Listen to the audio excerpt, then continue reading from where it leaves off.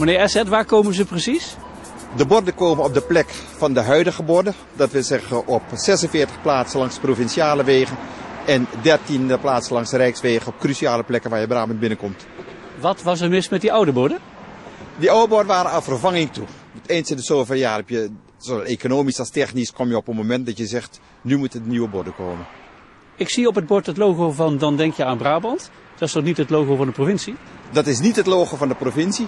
Waar we voor hebben gekozen is de trots die we hebben op Brabant, die we uitstralen via het merk Brabant, mee te nemen in de nieuwe borden. Er zijn bedrijven die die trots uitstralen via het merk.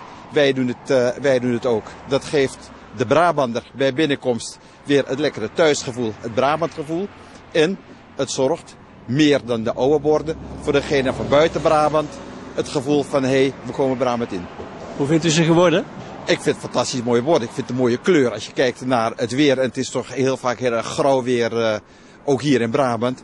Dit leukt op. Dit geeft echt het blije gevoel als je Brabant binnenkomt.